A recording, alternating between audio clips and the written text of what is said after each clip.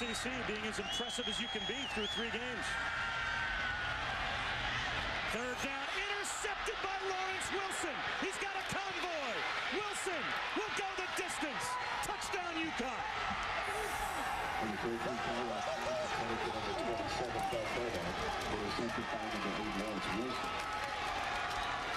Return for a touchdown.